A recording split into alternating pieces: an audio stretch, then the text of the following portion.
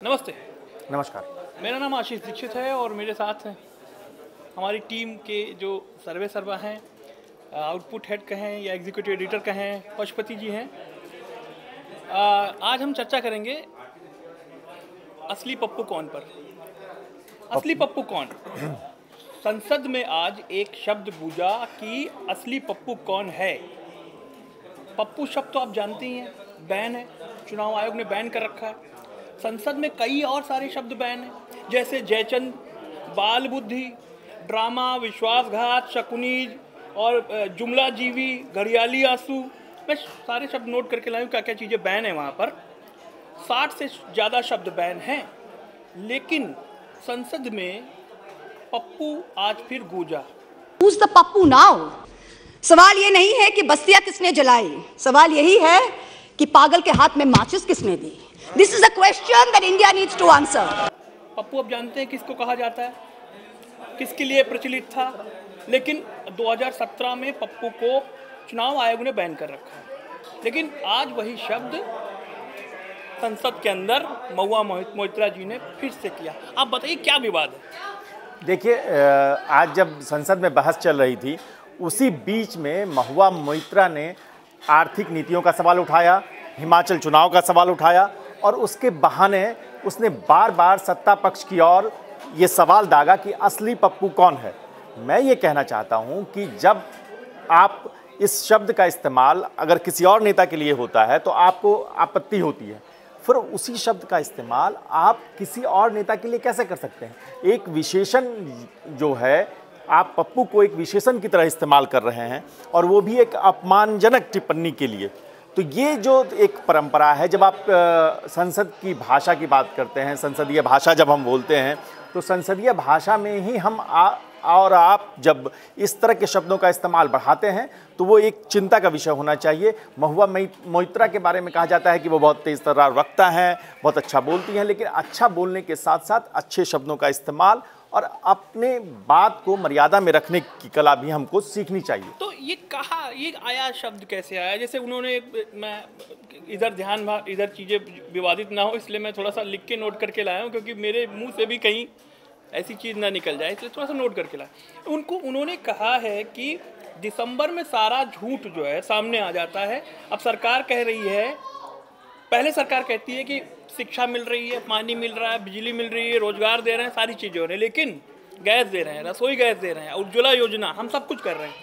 लेकिन दिसंबर में सारा झूठ सामने आ जाता है। अब सरकार कह रही है कि उसे बजट अनुमानों से ज़्यादा तीन तीन लाख छब्बीस तीन तीन लाख छब्बीस हज़ार रुपये लाख रुपए की ज़रूरत है फंड की ज़रूरत है। मैं ये कह रहा हूँ कि ये आंकड़े अपनी जगह हैं। हाँ। और, और आपके उसके सव- बाद ये कहती हैं कि चुनाव में जैसे नड्डा जी अपना स्टेट हार गए उनका उदाहरण उन्होंने दिया। तो ये ये यही किसको टारगेट करने की कोशिश है? यही जो सवाल है आशीष जी कि हम जब कोई बात कहते हैं हम अपनी बात बिना किसी ऐसे शब्द का इस्तेमाल किए भी कह सकते हैं जिससे किसी व्यक्ति की गरिमा किसी व्यक्ति के सम्मान को ठेस न पहुँचे। आप जो सारी डिबेट है पप्पू शब्द को लेके हम अपने बच्चों को घर में पप्पू कहा करते थे। किसी का भी नाम हम पप्पू लेके कह सकते हैं। तो पप्पू शब्द यूँ तो अ, किसी अ, के लिए विवाद का विषय नहीं हो सकता है। लेकिन जब संसद में हम कहते हैं और जब एक कोट एंड कोट एक खास तरह की शख्सियत का बयान करने के लिए हम कहते हैं महुआ में मोइत्रा ने खुद कहा है कि हम जो घोर अक्षम लोग हैं उसके लिए पप्पू शब्द का इस्तेमाल करना शुरू किया गया। और इस संदर्भ में एक खास नेता का नाम मैं नहीं ले, ले रहा हूँ वो लोग जानते हैं और समझते हैं। तो उसी शब्द को लेकर आप फिर देश की संसद में आपने उसको एक तरह से वैलिडेट किया कि पप्पू जो विशेषण है उसको लेकर आप फिर से पूरी चर्चा को वहीं लेके जाते हैं तो फिर सत्ता पक्ष की ओर से फिर वो शब्द उछलेगा लेकिन आप मुझे बताइए गाली गलौज की पॉलिटिक्स पप्पू जैसे अभी पिछले दिनों हत्या की बात कही गई मोदी जी के लिए कांग्रेस के लीडर ने कही। इससे पहले रावण कहा गया।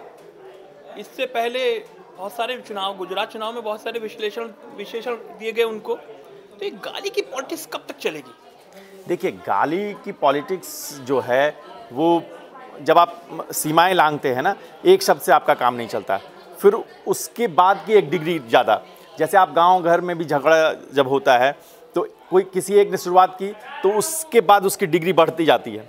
तो हमको ये सोचना है कि हम देश की संसद से क्या संदेश देना चाहते हैं, किस तरह की भाषा का इस्तेमाल करना चाहते हैं, कैसे अच्छा किसी भी शब्द के साथ आप उसके पीछे का जो अर्थ है, क्या क्या साउंड कर कर रहा है वो बहुत ज़्यादा महत्वपूर्ण है।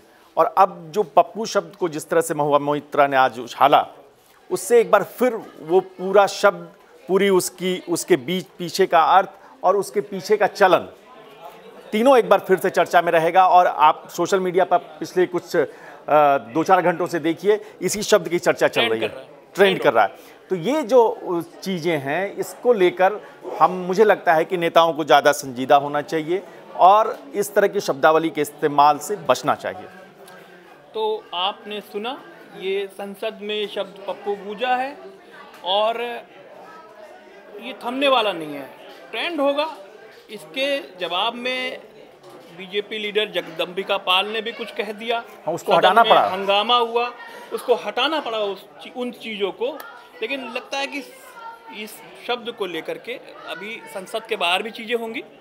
बिल्कुल और हमको ये नहीं भूलना चाहिए कि हम जिस शब्द का इस्तेमाल कर रहे हैं उससे एक तरह से जिनके डिफेंस में हम उस शब्द का इस्तेमाल कर रहे हैं वो फिर से चर्चा में आ गए। तो आप खुद न जान जा, चा, चाहे अनचाहे एक गलती कर बैठी है महुआ में मोहित्रा मुझे लगता है। गोल कर बैठी हाँ सेल्फ गोल। Self goal. इसका नुकसान हो सकता है। बिल्कुल। तो आप हमें कमेंट बॉक्स पर लिख के बता सकते हैं कि ये जो जैसे जो बैन है शब्द जो हम गाली नहीं देते हैं गाली बैन है उसी तरह कुछ शब्द भी बैन है। संसद के अंदर तो साठ से ज़्यादा शब्द बैन है निकम्मा तक बैन है। वहाँ पप्पू जैसी बात और एक खास नेता के लिए कही गई सारी जो बातें हैं क्या ये सही है? आप हमें कमेंट बॉक्स पे इसको लेके कमेंट कर सकते हैं। बिल्कुल। नमस्कार। नमस्कार।